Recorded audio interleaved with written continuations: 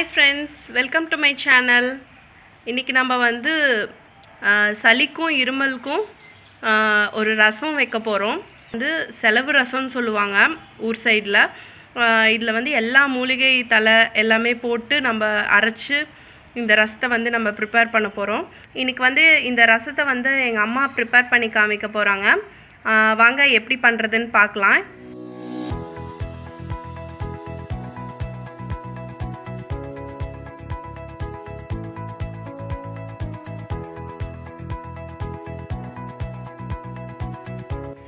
பூண்டு இலை சின்ன வெங்காயம் மூணு பூண்டு மூணு பால் திருநூற்பத்தினி இலை கருவேப்பிலை குப்பைமேனி இலை வேப்பிலை சங்குப்பூ கொழுந்து வாதநாராயண இலை கொழுந்து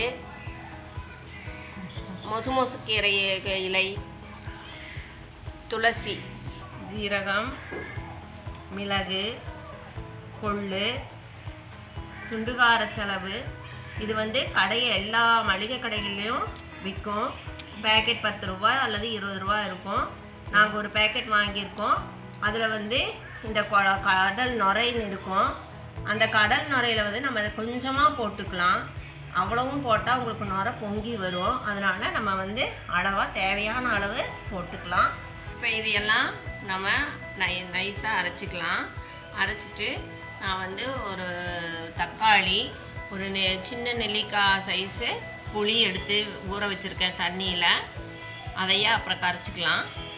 தாளிக்கிறதுக்கு சின்ன வெங்காயம் மிளகாய் வரமிளகாய் எடுத்து வச்சுருக்கேன்.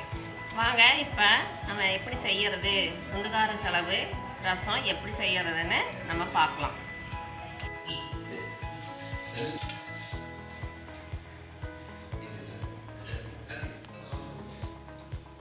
இப்போ நம்ம வந்து இது எல்லாத்தையும் மிக்சியில் போட்டு அரைச்சிக்கலாம்.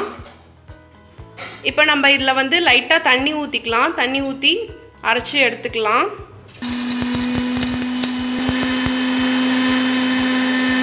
இப்போ நம்ம வந்து அரைச்சி எடுத்தாச்சு. இப்போ நம்ம வந்து இதை வடிகட்டி ரசம் வைக்க போகிறோம் வடிகட்டினா தான் கொஞ்சம் வந்து நம்ம குடிக்கிற மாதிரியும் இருக்கும். அதனால் நம்ம வடிகட்டிக்கலாம்.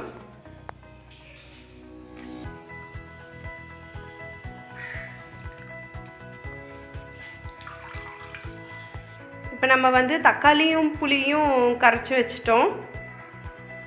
இப்போ ரசம் எப்படி வைக்கிறதுன்னு பார்க்கலாம். இப்போ நம்ம ஒரு கடாயில் எண்ணெய் ஊற்றிக்கோங்க ரெண்டு டேபிள் ஸ்பூன் அளவு எண்ணெய் ஊற்றிக்கோங்க எண்ணெய் காஞ்சதுக்கப்புறம் கடுகு போட்டுக்கோங்க. கடுகு வெடித்ததும் வரமிளகா வெங்காயம் போட்டு தாளிச்சுக்கோங்க.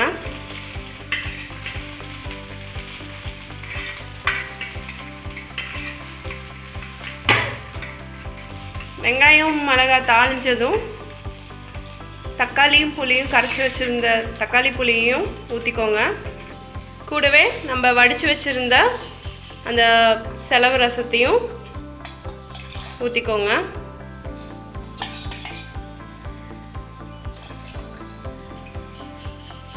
தேவையான அளவு உப்பும் ஆட் பண்ணிக்கோங்க. இது நுரக்கட்டி வந்ததுக்கப்புறம் இறக்கிடலாம்.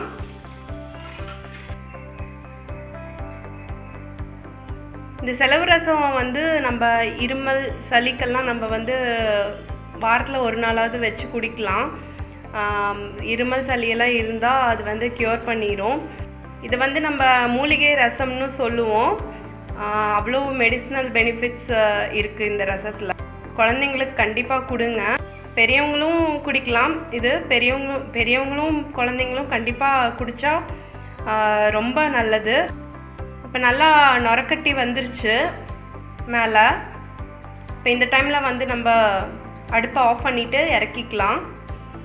அது இது வந்து இறக்கும்போது ரொம்ப சூப்பரான ஸ்மெல் இருக்குது இது கண்டிப்பாக உங்கள் வீட்டில் நீங்கள் ட்ரை பண்ணி பாருங்கள் ட்ரை பண்ணி பார்த்துட்டு எப்படி இருந்ததுன்னு கமெண்ட்ஸில் சொல்லுங்கள் நம்ம சேனலை இது வரைக்கும் சப்ஸ்கிரைப் பண்ணாதவங்க சப்ஸ்கிரைப் பண்ணிக்கோங்க. தேங்க்ஸ் ஃபார் வாட்சிங்